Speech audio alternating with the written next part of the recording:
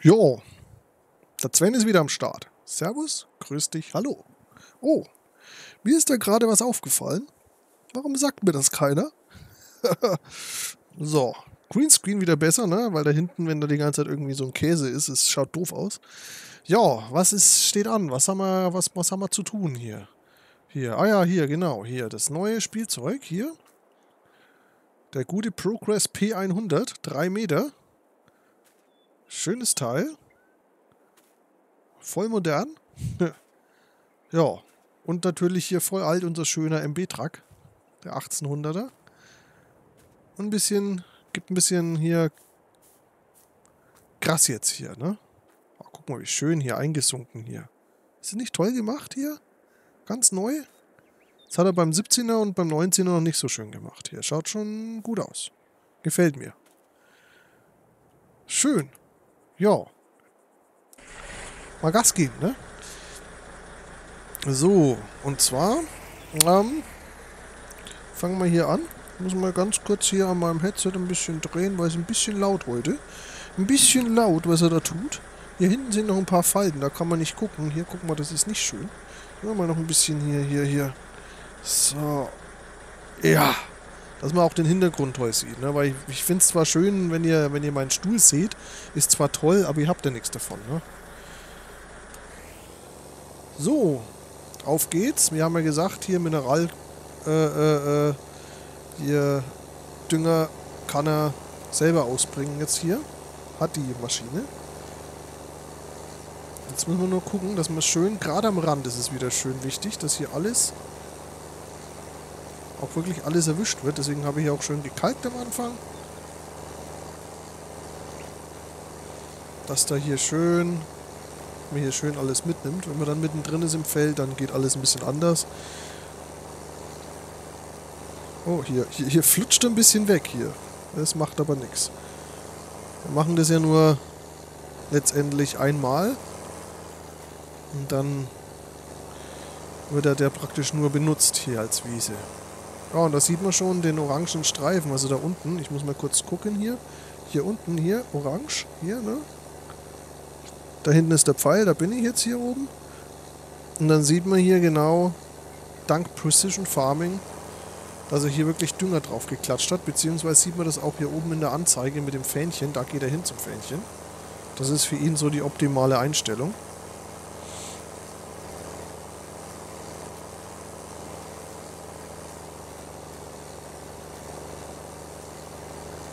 So, jetzt muss ich nur hier gucken.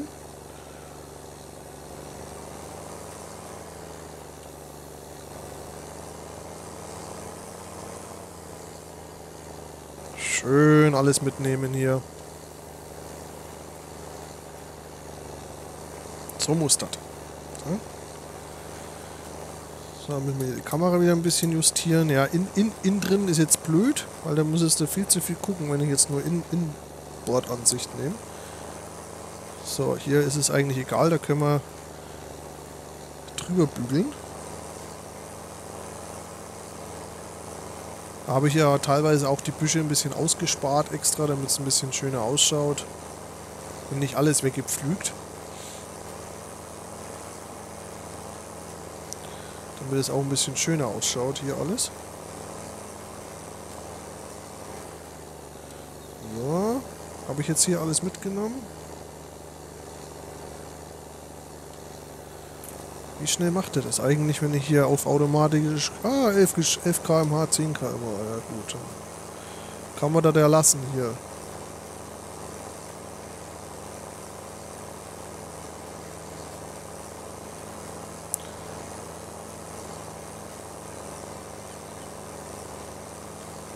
wenn der hier so wegrutscht, ist es halt äh, völlig normal, weil ähm, der Boden ist recht uneben.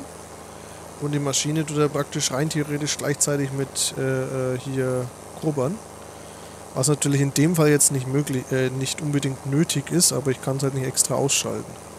Und die Drille würde ich halt gern für die normalen Felder hauptsächlich verwenden. Also das heißt, das eine Mal, da muss sich halt jetzt einfach mal die Maschine und der MB-Truck ein bisschen durchkämpfen. Ne? Also wie gesagt, ist hier jetzt gerade hier Volllast. Der kommt an seine Grenzen. Ne? Mich aber jetzt persönlich auch nicht wirklich stört. Weil ein Trecker, der einfach so Larifari hier alles hier wegarbeitet, das macht keinen Spaß. Ne? Ihr könnt übrigens auch schon mal hier gucken hier. Ne? Guckt mal hier oben hier. Sieht man wunderschön die Ruine da oben. Ist es nicht schön?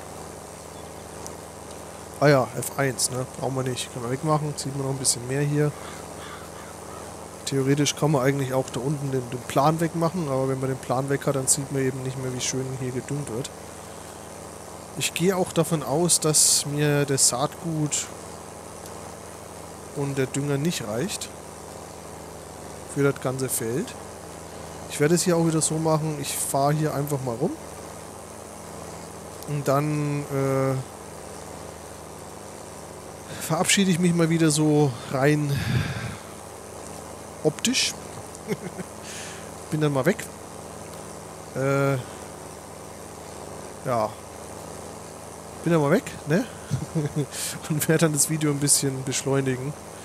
Äh, später mache ich das nicht mehr beim Dreschen und bei den Feldern, weil da ist sowieso so viel Parallelarbeit und so weiter und so fort da. Aber hier, das ist dann schon ein bisschen einsamer Job, wenn man jetzt hier eine halbe Stunde dort hockt und guckt mir praktisch beim Drillen zu. Äh, es mag vielleicht beruhigend wirken, aber ich glaube, da geht man dann auch irgendwann mal, äh, gehen wir dann auch irgendwann mal die blöden Sprüche aus. Deswegen hier am Anfang hier, jetzt sehe ich nichts mehr, halt.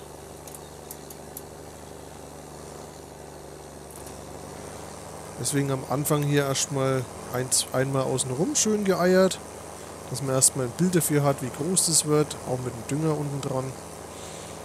Dass man sieht hier, oh ja, der braucht Dung, die Wiese, trotz alledem. Ich bin mir allerdings nicht ganz sicher. Das mit Precision Farming ist alles eine schöne Geschichte. Aber du hast ja eigentlich dann auch, äh, äh zum Schluss zeigt er immer so diesen Ertrag mit an.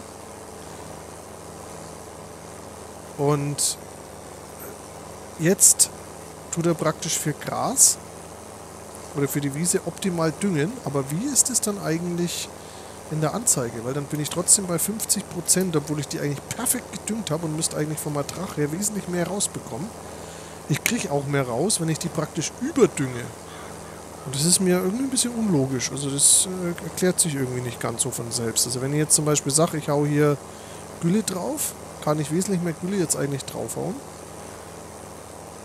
Und ihr jetzt gerade eben Dünger verbraucht. Ich sehe es jetzt wenig als problematisch, wenn ich ehrlich bin, weil äh, das Spiel will es scheinbar so haben. Will auch, dass ich lauter Bäume im Gesicht habe.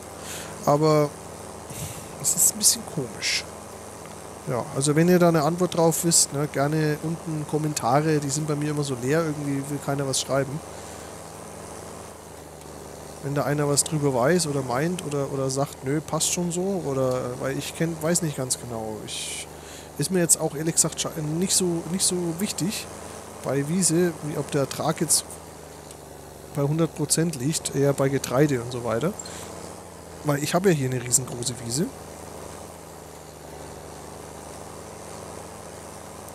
Kann ich jetzt nicht so genau sagen.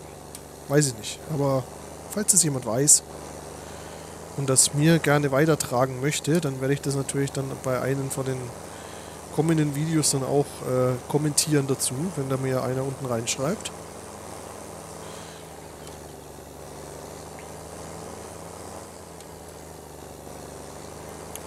Also man sieht hier am Rand, ne, ich habe schon extra ein bisschen katastrophal gepflügt. Äh, aber das äh, weiß einfach dann ein bisschen realistischer ausschauen soll hinterher, dass es ein bisschen schöner übergeht von Wiese in die äh, Wiese, wie sie vorher war praktisch. Deswegen habe ich halt hier jetzt ein bisschen mehr Arbeit, weil ich hier ein bisschen genauer fahren muss, dass auch wirklich alles hier äh, jetzt angesät wird. Und da ist irgendwie der Baum im Weg, oder? Oder ein Ast? Ja, ein Ast ist hier im Weg, ne?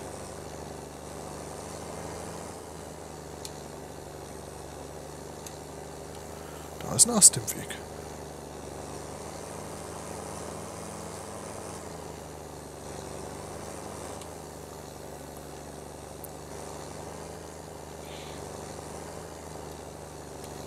Dann machen wir das halt anders, ne?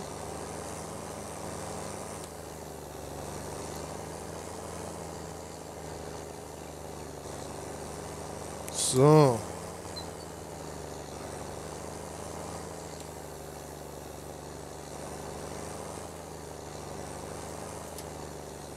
Ein bisschen Kamera drehen, ne? nicht, dass man hier jetzt hier wieder hier irgendwie ein bisschen leicht gaga wird oder so.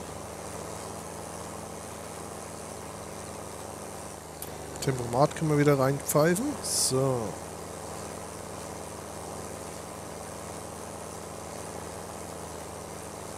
Kann jetzt sein, dass er gleich hier irgendwie motzt und sagt, hier nicht dein Feld oder so, weil ich zu weit drüben bin, aber das scheint aber zu funktionieren. Ich muss auch sagen, ich habe auch das Patch nicht drauf. Da hat der Ersteller nämlich irgendwas mit den, mit den Rändern zur, zu dem, äh, zum Bach gemacht. Ich weiß nicht, ob es hier an der Stelle auch ist. Aber ich habe mal gesagt, ähm, ja, nee, läuft doch. Ja, läuft doch. Ja, schön.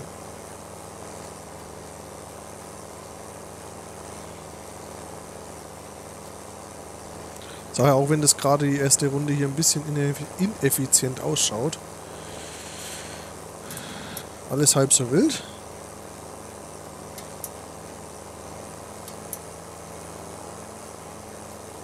Das wird schon. So, und hier ist das Schöne.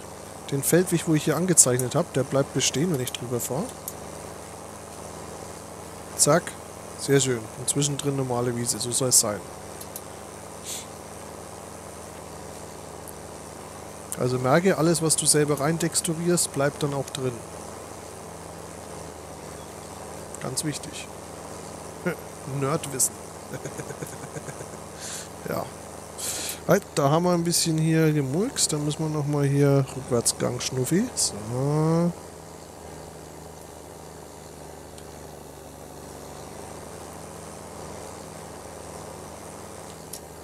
So. Kurbel, Kurbel.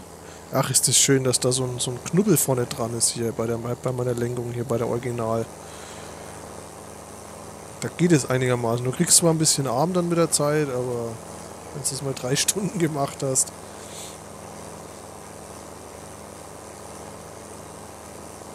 Aber das alles macht der Gewohnheit.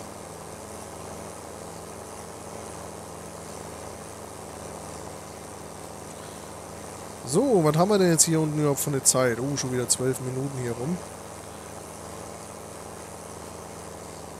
Ja, äh, ich würde sagen, ähm, ich klinge mich dann hier mal aus. Und der Rest äh, macht der Sven wieder im Time Warp. Und dann sage ich schon mal, viel Spaß beim Flitzen. Oder beim Flitzen zugucken. Na? Hier. Der Sven sagt, bye bye. Ach ja, und das Übliche, was ich eigentlich immer am Anfang sagen wollte, weil das machen die Großen immer so. Abonnieren nicht vergessen, liken nicht vergessen, Glocke aktivieren nicht vergessen. Ja, ich glaube, das war's. Ne?